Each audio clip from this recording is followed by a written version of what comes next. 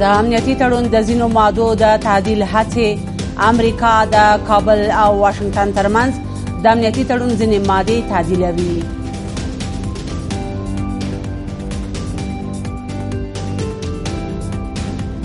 اضافه کردن یا تعدیل هر ماده ای که جایگاه افغانستان به عنوان یک کشور بیطرف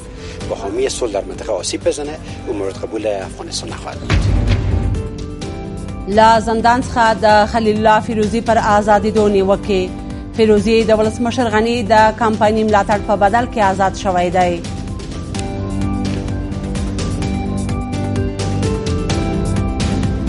بدون در نظر داشت قانون اساسی افغانستان رها نمودن آن به فرستادن آن به وانه مریضی به خانهشان جز یک از یک معامله ننگین چیز دیگری نمیتونه در پیدا شد او هند د کشمیر په اړه د خپل پریکړې دفاع وکړه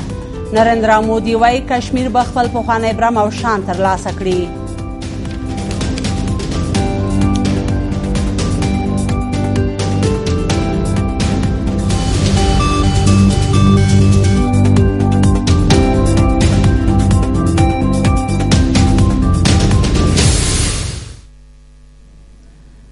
قدرمن لیدونکو سلام د کابل نیوز د دې سات خبرونو ته خراغلاست اوس هم پوره خبرونه متحده ایالات له طالبانو سره تر توافق وروسته د امنیتي تړون ځینو مادو کې تغییر راولي ویل کېږي واشنګټن د امنیتي تړون دغو مادو د تعدیل په هڅه کې دی چې له افغانستان څخه پر نورو هیوادونو د برید اجازه نه ورکوي د نړیوالو اړیکو یو شمېر شنونکي وایي د کابل او واشنګټن په امنیتي تړون کې هر ډول تغییر او تعدیل چې د افغانستان ناپیاله اداري سوله او ثبات زیانمنوي د منلو وړ نه دی او دا په دې معنا ده چې متحده ایالات په افغانستان کې د جګړې د سختولو هڅه کوي په ورته مهال د ولسمشر ویاند ویل له متحده ایالاتو سره ټولې معاهدې او هوکړې پر خپل ځای دي او هیڅ ډول تغییرات پکې نه راځي له طالبانو سره د سولې توافق تر لاسلیک کېدو وروسته متحده ایالات غواړي په ولسي جرګه کې د نفوذ له لارې د کابل واشنګټن ترمنځ د امنیتي تړون ځینې مادې تعدیل او تغیر کړي. د دغه تړون یوه ماده کې راغلي چې د افغانستان خاوره به د ګاونډیو هیوادونو پر ضد نه استعمالیږي. خو اوس ویل کیږي یاد هیواد هڅه کوي چې د سولې له توافق وروسته د امنیتي تړون دا او یو شمیر نورې مادې تعدیل کړي. امنیتي تړون یا ستراتیژیک تړونونه خو په دې مانا نه دي چې کله په کې تغیرات رانه شي. دوی، ټول هیوادونه، کولای شي چې د خپلو ګټو په خاطر باندې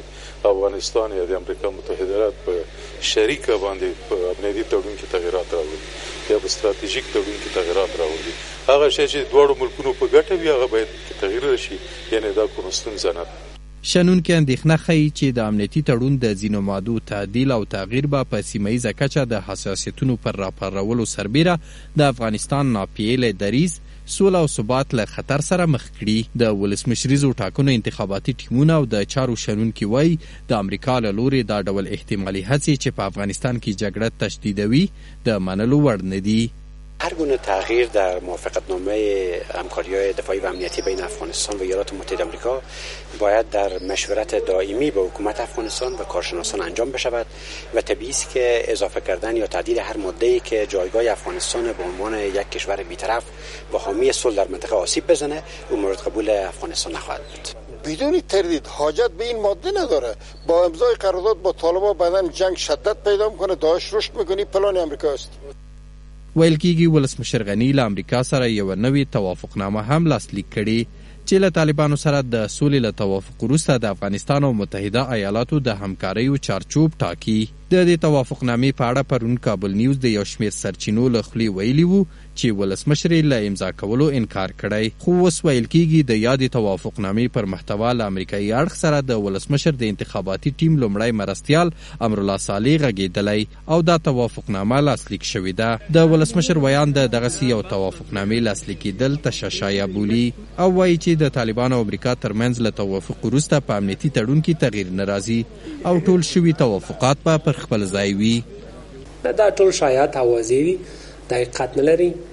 د افغانستان د حکومت او د متحده ایالاتو ترمنځ ټول هغه معاهدات او موافقت نامې چې شته هغه پر ځای دي هغه کې به تغییر نه راځي هیڅ کله. د کابل او واشنګټن ترمنځ امنیتي تړون په دوه زره او څوارلس میلادي کال کې د ملي یووالي حکومت له رامنځته کېدو یوه ورځ وروسته د افغان او امریکایي چارواکو ترمنځ په کابل کې لاسلیک شو. د ولسمشر مرستیال سرور دانش تر انتخاباتو وروسته د سولې په تړاو خپلې خبرې بیرته واخیستې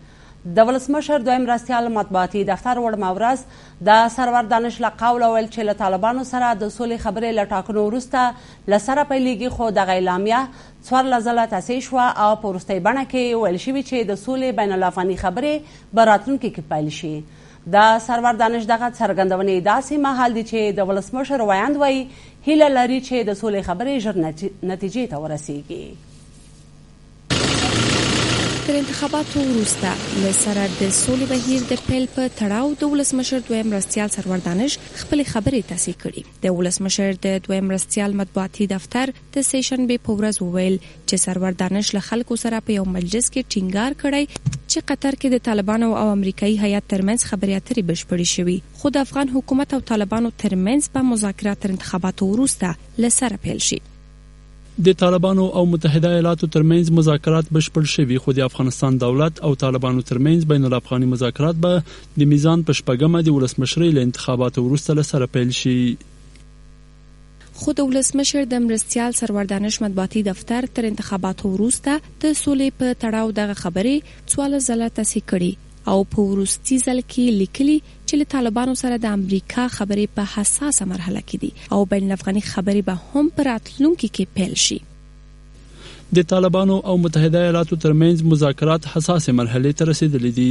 او بین الافغاني خبرې به هم راتلونکي کې پیل شي. ولسمشرۍ ماڼۍ د ولسمشر مرستیال سرور دانش د دغه څرګندونو په تړاو وایي چې حکومت د سولې او ټاکنو بهیرونه دواړه هم مهاله پر مخ وړي او هیله لري چې د سولې خبرې ژر نتیجې ته ورسیږي خب دیروز یک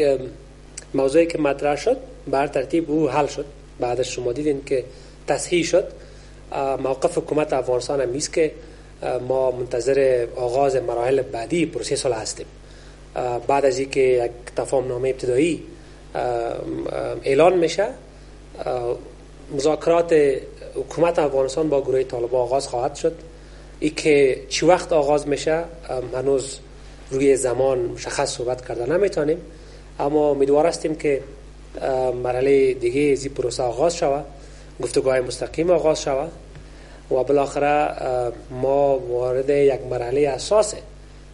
پروسې سوله داخل شوی. د ولسمشر د دویم مرستیال سرور دانش دغه څرګندونې داسې مهال بیرته تصحیح کیږي چې په کور د ننه هم ګن افغان سیاستوال د ولسمشرۍ ټاکنو نوماندان او عام خلک تر انتخاباتو مخکې پر سولې ټینګار لري. د کابل بانک د فساد په قضیه کې تورن خلیل الله فیروزی د دیرش میلیونه ډالرو په بدل کې آزاد شوی د امنیت او عدالت انتخاباتي ټیم مشر رحمت الله نبیل وایي چې فیروزی د ولسمشر د کمپاین دفتر ته دیرش میلیونه ډالر منلی او د همدې پیسو په بدل کې تیرونی خوشې شوی دی په ورته مهال د سیاسي چارو شنونکي په اوس وخت کې د ولسمشر غني دغه ډول اقدامات کمپایني بولي. بل پلو په کابل کې د امریکا سفیر په دې اړه غبرګون ښودلی او ویلي دي چې د حکومت دغه کار د فساد پر ضد د مبارزې په برخه کې د حکومت تعهد تر سوال لاندې راولي. خو ولسمشرۍ ماڼۍ دغه ادعاوې ردوي او وایي چې فیروزي د معزافي کمېټې د سپارښتنې او طبي راپورټ پر اساس له زندان څخه ازاد او په خپل کور کې تر جدي نظارت لاندې دی. د ولسمشر غني له لوري د کابل بانک د فساد په قضیه کې د تورن خلیل الله فیروزي ازادېدل جدي غبرګونونه راپرولي دي. د امنیت او عدالت انتخاباتي ټیم مشر رحمت الله نبیل د خلیل الله فیروزي پر ازادېدلو غبرګون ښودلی او ویلي دي چې نوموړی تېره اونۍ داسې وخت ازاد شوی چې د ولسمشر غني د کمپاین دفتر ته یې دېرش میلیونه ډالر منلي دي. یک سر استخدام ها و یک سری ایجاد پست ها همه مرتبط به انتخابات بوده بدون شک با سیاسی ساختن نهادهای عدلی و قضایی و رایی مجرمین بالفطره کسانی که مرتکب خیانت ملی شدن یک بانک ملی را 900 میلیون دلار به مردم افغانستان ضرر رساندن و بدون بدون در نظر داشت قانون اساسی افغانستان رهای رها نمودن آن و فرستادن آن به وانی مریضی به چون جز یک از یک معامله ننگین چیز دیگری نمیتونه در پی داشته باشد. د چارو شنونکي وایي په داسې حال کې چې ولسمشر غني د کابل بانک د فساد قضیه د فساد ضد مبارزې په برخه کې د خپل حکومت ستره لاسته راوړنه بللې خو له زندان څخه د کابل بانک قضیې د اصلي عامل ازادېدل ښیي چې ولسمشر غني د فساد ضد مبارزې ته ژمن نه دی او د خپل انتخاباتي کمپاین لپاره هر څه کوي. بدون شک بسیاری فعالیت هایی که در این اواخر رئیس جمهور روی دست گرفته است بادی کمپینی داره و از لحاظ قانون هم مشکل قانونی هم وجود داره که موانع بسیار جدی در این زمینه وجود نداره در قوانین افغانستان بینن هر چی را که میکنه او دو باد داره یا اخلاقا نباید بکنه و یا که از بعد قانونی او صلاحیت شده داره که اعمال بکنه بینان اگر تغییر و تبدیلی ها را دیده میشه و اگر نزل و نصب است و کسایی را میاره و کسایی را میبره همه شاید بعد کمپینی خود داشته باشه حاکمیت دی قانون یو اصل ده په دیموکراسی که او رئیس جمهور چه کوم وعدې کړې وو د فساد د لمنځه وړلو لپاره د حاکم د قانون د حاکمیت د ټینګښت لپاره ده ډیر مهم اصلونه او خلک په باور درلود اعتبار درلود که چیرې دا موضوع ثابته شي چې کوم څوک د فساد اداري او د رشوې په اساس د بند څخه خوشي کیږي او د یو څوک اتا رئیس جمهور د خپل صلاحیتونه د دغه اصول په اساس تر سره کوي دا فکر کوم یو لویه جفا ده د حاکمیت د قانون لپاره خو د ولسمشر ویاند وایي له زندان څخه د خلیل الله فیروزي د ازادېدو پرېکړه د موظفې کمېټې له لوري نیول شوې او اوس مهال په خپل کور کې تر جدي نظارت لاندې دی. رهاییشان یا هم انتقالشان به منزلشان به معنای معاف کردن حبس آقای فیروزی نیست خو بر اساس قوانین کمیته که یک جا با نهاد عدلی و قضایی کار کرده بود ای توصیه را به حکومت افغانستان کرد که اینا باید از زندان منتقل شوند و شایعات دیگه که مطرح شده توسط به ویژه توسط آقای نبیل که گویا در بدل پول رها شده این کاملا بی بنیاد است کاملا بی اساس است این معلومات جنبه کمپاینی داره متاسفانه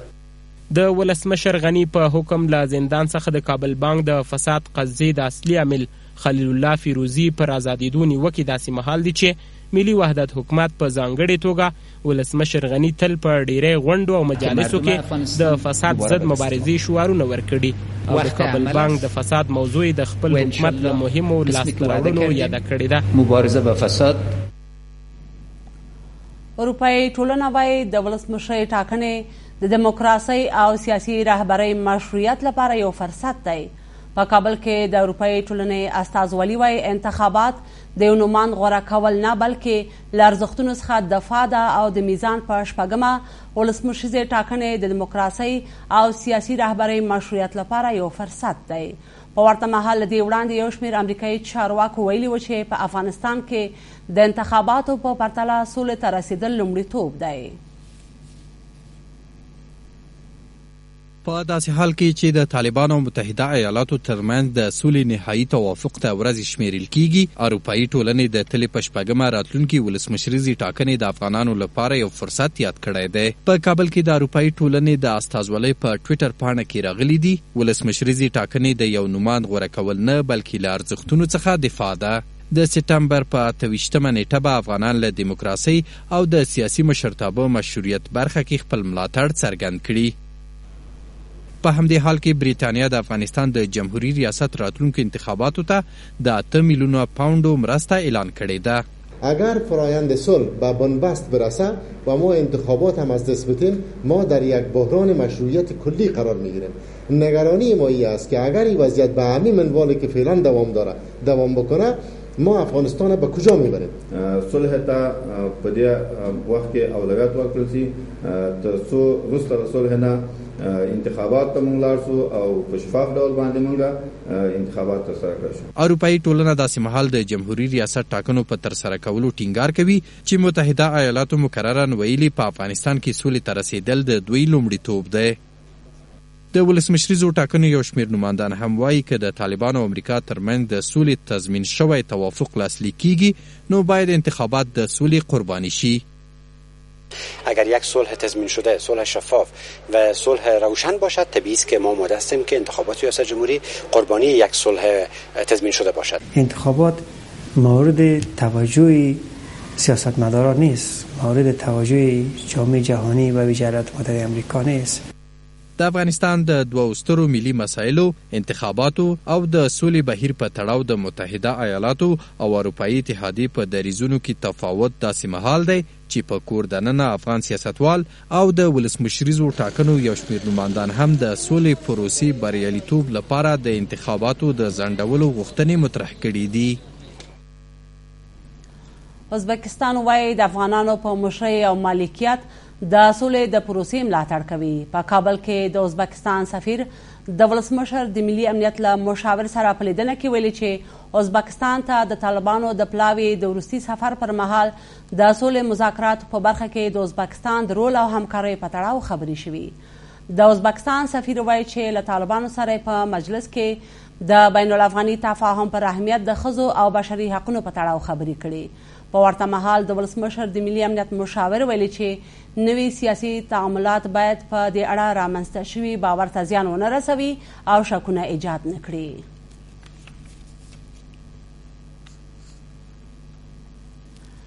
افغان ځواکونه د هوایي عملیاتو برخه کې سم نه دي روزل شوي د پنټاګون په یو نوي راپور کې راغلي چې افغان هوایي ځواکونو ته د هوا له لارې د کمالاتو او په دې برخه کې د همغږۍ سمه روزنه نه ده ورکړل شوې سرچینه وایي دا ستونزه د دې لامل شوې چې د افغانستان ځمکنیو ځواکونو ته په وخت اړینه مرسته ونه رسیږي د راپور لمخې دغه کار د افغان ځواکونو او ملکیانو تلفات ډیر کړی او دا خطر یې هم رامنځته کړی چې د هوا له لارې افغان ځواکونو ته غورځېدونکې مرستې د مخالفینو لاس ته ورشي. پنټاګون په یوه نوي راپور کې منلې چې د افغانستان هوایي ځواکونه د جګړې ډګر ته د هوا له لارې په اکمالاتو، بمبارۍ او په ټوله کې د هوایي عملیاتو برخه کې سم نه دي روزل شوي. سرچینه زیاتوي چې دغه کار د افغانستان ځمکني ځواکونه چې په ځینو سیمو کې هوایي ملاتړ او د هوا له لارې اکمالاتو ته جدي اړتیا لري له ستونزو او خطر سره مخامخ کړي په راپور کې دا هم منل شوې چې د هوایي عملیاتو برخه کې د افغان ځواکونو نه روزل کېده د دې لامل شوي چې دغه ځواکونه ملکي خلکو ته تلفات واړوي او کله ناکله پر خپلو ملګرو بریدونه وکړي د هوایي عملیاتو د همغږۍ برخه کې د ارتباطي افسرانو ناتواني د هوایي عملیاتو د ناکامۍ د ډېرېدو لامل ګرځي. دې ستونزې په هوایي عملیاتو کې د ملکي خلکو مرګ ژوبله او د خپلو ملګرو تلفات هم ډېر کړي دي. د پنټاګون اړوند د افغانستان د بیارغونې د څار لپاره د امریکا د ځانګړي څارونکي د دفتر، سیګار، په دغه راپور کې راغلي، چې د هوایي عملیاتو او د مرستندویه ټولګو یا کمکي محمولو او په دې اړوند د همغږۍ برخه کې د افغان ځواکونو روزنه د ناټو د قاطع ملاتړ ماموریت د روزنې، مشورې او ملاتړ یوه مهمه چاره وه. راپور وایي د قاطع ملاتړ ماموریت چارواکو د دې دلیل نه دی وړاندې کړی چې ولې یې افغان ځواکونه په دې برخه کې سم نه دي روزلي، خو ژمنه یې کړې چې په دې برخه کې به کار کوي. دا راپور داسې مهال خپور شوی چې افغانستان کې د ملګرو ملتونو دفتر یوناما روان کال په هوایي بریدونو کې د ملکي تلفاتو د ډېرېدو په اړه اندېښنه ښودلې. په دا ډول تازه عملیاتو کې د تېر لوی اختر په لومړۍ شپه د پکتیا په زرمت ولسوالۍ کې یوولس ملکي کسان وژل شوي. د راپورونو له مخې ولسمشر غني په یو بېساري اقدام کې د افغانستان د ملي امنیت عمومي ریاست ته سپارښتنه کړې چې د زرمت د پېښې په اړه له خپلو مسؤلو چارواکو څېړنې وکړي. د ولسمشرۍ ټاکنو نوماند لطیف پدرام وایي بهرنیان لا هم په افغانستان کې شخصي زندانونه لري عبداللطیف پدرام وایي چې اوسنی حکومت په مستقله توګه د تصمیم نیونې صلاحیت نه لري د بهرنیانو د ناوړه کړنو پر وړاندې غږ نشي اوچتولی او له همدې امله هم طالبان له دې حکومت سره خبرې نه کوي ترامپ خپلو پلویانو ته د یوې غونډې پر مهال وایي چې د ملي وحدت حکومت په دوره کې د بې کارۍ کچه درې شپېته سلنې ته لوړه شوې ده. هغه وایي د بریالیتوب په صورت کې اوسنی نظام په فدرالي بدلوي. د ولسمشرۍ ټاکنو لپاره د انتخاباتي کمپاینونو په لړ کې د ولسمشرۍ ټاکنو نوماند لطیف پدرام هم په کابل کې خپلو پلویانو سره خپل راتلونکي پروګرامونه شریک کړل. عبداللطیف پدرام وایي چې اوسنی حکومت مشروعیت نه لري او په خپلو تصامیمو کې هېڅ ډول خپلواک نه دی. ما در اول جوزا و قبل از او اعلام کردیم که حکومت حکومت به اصطلاح وحدت ملی مشروعیت خود را از دست داده است و میباید صلاحیت و رهبری انتخابات اگر بشود به یک آدمی سرپرست یا یک مجموعه سرپرست واگذار شود چون دیگر مشروعیت ندارد این حکومت این نظام و حال هم موازه ما همین است د ولسمشرۍ ټاکنو دغه نومان وایي چې لا هم بهرنیان په افغانستان کې شخصي زندانونه لري او حکومت د هغوی د ناوړه کړنو په تړاو غږ نشي اوچتولی نوموړی وایي چې له همدې امله طالبان له اوسني حکومت سره خبرې نه کوي. هیچ کشور مستقلی اجازه نمیده در قلمرو زندانهای خصوصی باشد آمریکاییها زندان خصوصی دارند اینجا اینجا چرا اعتراض نمیکنید اگر شرمی هست اگر ارق ملی هست اینجاها آدم باید نشان بدهد. همین میکنه مذاکره دارین با شما مذاکره نمیکنه به یک دولت چون دست نشانده اش هستی با تو احترام نمیگذاره میگن اما با طالبان تصمیم میگیریم اونم بخش از مردمان تو هیچ کاری نیستی د ولسمشرۍ ټاکنو نومان لطیف پدرام وایي چې د ملي وحدت حکومت په وخت کې د بیکارۍ کچه درې شپېته سلنې ته لوړه شوې ده نوموړی وایي چې په انتخاباتو کې د بریالیتوب په صورت کې به اوسنی نظام په فدرالي نظام تغیر کړي تفاوت ما تیم ما با بقیه کاندیداها این است که ما خواهان تغییر ساختار نظام هستیم یعنی یک ساختار اسلامی فدرالی چون بعضی از مخالفان ما تبلیغات میکنن که فدرالیزم یعنی یک رژیم غیر اسلامی در حالی که ساختار سیاسی مدیریتی است ما جمهوري اسلامي فدرالي افغانستان خراسان را میخوایم. د ولسمشرۍ ټاکنو نوماند لطیف پدرام داسې مهال ملي وحدت حکومت په خپلو تصامیمو کې د خپلواکۍ په نه لرلو تورنوي چې په قطر کې د متحده ایالاتو او طالبانو ترمنځ اتم پړاو مذاکرات پای ته رسېدلي او دواړه خواوې له خپلو مشرانو سره په دې اړه پر سلا مشورو بوخت دي. پکتیکا کې د اختر په درې ورځو کې یو سل نوي ترافیکي پیښې شوې دي د پکتیکا ولایت د مرکز شرنې د ملکی روغتون مسولان وایي چې د اختر په ورځو کې د یو سل نوي ترافیکي پیښو لامل درې جسدونه او لسګونه ټپیان روغتونونو ته انتقال شوې دي خو د ترافیکو مسولین بیا دغه شمیره نه مني او وایي چې د ترافیکي پیښو شمیر کم دی د پکتیکا ولایت د کرنې د ملکی روغتون مسولانو کابل نیوز ته ویل چې د اختر په درې ورځو کې له یو سل نوي ترافیکي پیښو څخه درې جسدونه یو سل واتیا تنه چې ډیری یې ځوانانو په ژوبل حالت کې ورول شوې دي چارواکي وایي چې په ژوب شو کسانو کې یو شتنې شدیدو چې د خې درملنې په هدف یې د کابل روغتیايي مرکزونو ته لیږلي دي. په د تېرې ورځې کې ولایتي شرخانې ته د یو سلونوي په شاوخوا کې ترافیکي پېښې مراجعه کړې ده چې بد بختانه په دې کې درې پېښې داسې وې چې هغه مرګونې پېښې وې چې مړینه یې لرله او یوویشت نفره داسې وو چې هغوی رېفر ته ضرورت لرلو دا بوی موږ باید ولیږو لوړې مقامات ته. نوموړي وویل چې ډېرې ترافیکي پېښې د موټر سایکل چلولو له امله رامنځته شوې دي چې ډیری قربانیان یې ځوانان جوړوي.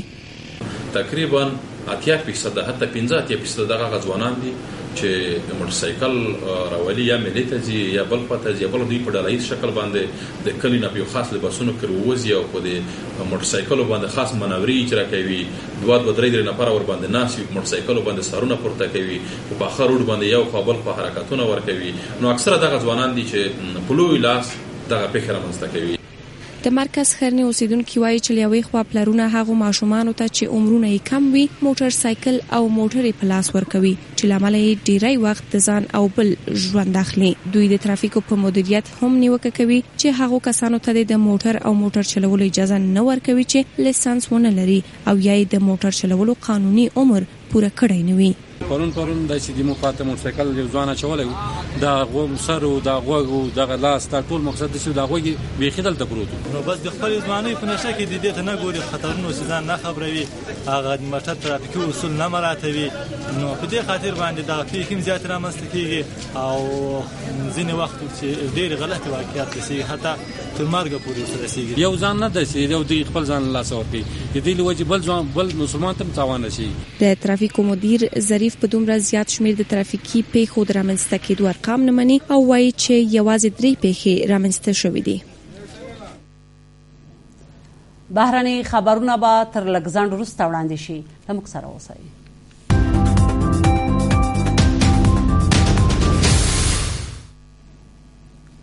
بیا هم ښه راغلاست د هند صدر اعظم نریندرا مودي ژمنه کړې چې کشمیر به برته پخوانی برم ترلاسه کړي مودي ویلي چې د کورواکۍ د حیثیت لغوه کېدل به مرسته وکړي چې جمو کشمیر خپل پخوانی برم او شان ترلاسه کړي هغه دا څرګندونه د هند د خپلواکۍ د کلیزې په مناسبت جوړو شو مراسم کې کړې دي د هند صدراعظم وایي د جمو کشمیر پخوانی موقف اداري فساد، بې عدالتۍ او خیژخورۍ ته زمینه برابره کړې وه او د دغه موقف لغوه کېده به دلته د پرمختګونو لار پرانیزي. دا په داسې حال کې ده چې د کشمیر د کورواکۍ د موقف لغوه کېدو د پاکستان سخت غبرګون راپارولی دی. اسلام اباد د ملګروملتونو له امنیت شورا څخه په دې اړه د بیړنۍ ناستې غوښتنه کړې ده. د امریکا ولسمشر ډونالد ټرمپ له خپل چیني سیال شي جي پینګ سره د شخصي ناستې وړاندیز کړی ټرمپ پر خپل ټویټر لیکلي غواړي په دې ناسته کې له شي سره د هانګ کانګ په تړاو خبرې وکړي د امریکا ولسمشر زیاته کړې چې که بیجنګ دوی سره سوداګریزه هوکړه غواړي نو لومړی باید له هانګ کانګ سره انساني چلند وکړي تر دې مخکې د امریکا د بهرنیو چارو وزارت خپلو وګړو ته خبرداری ورکړی چې هانګ کانګ ته سفر ونه کړي. دا خبرداری د هانګ کانګ له پولو سره نږدې د چین د پوځي تحرکاتو له کبله ورکړل شوی. هانګ کانګ له نږدې دریو میاشتو راهیسې د اپوزیسیون لخوا د دموکراسۍ پلوه مظاهرو شاهد دی.